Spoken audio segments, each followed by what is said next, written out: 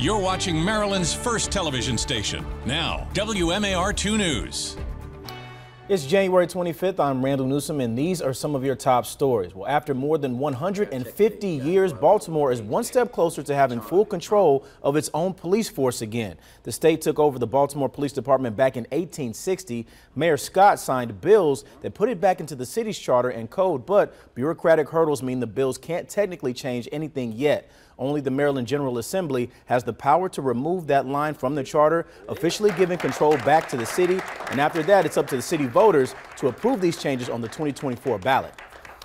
And Mayor Brandon Scott also declared this month Purple January in Baltimore, and he's urging all of us to show our purple pride to cheer on the Ravens in their quest to win the coveted Lombardi Trophy. The mayor is also encouraging all city employees to wear purple this Friday for a big group photo at City Hall. And Fleet Week is sailing back into Baltimore. It's taking place June 12th through the 18th and bringing special service vessels, flyovers, and festivals back to Baltimore.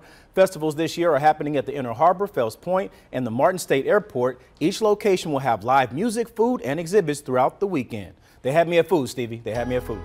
You me up for that as well.